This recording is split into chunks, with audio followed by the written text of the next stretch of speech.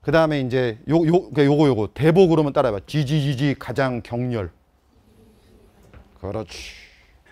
그 다음에 이제 불국사 변동은 초기, 중기, 말기에 북부, 중부, 남부에 남부에 구마, 구마, 구마.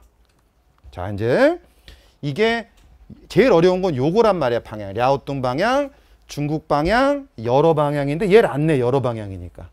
그럼 둘을 구별하는데 이 둘의 구별이 어렵지 않지. 여기서 끝나는 거죠. 중국 방향. 따라해봐. 중생대 중기인 주라기의 중국 방향. 중생대 중기인 주라기의 중국 방향. 율동으로 한번 시작.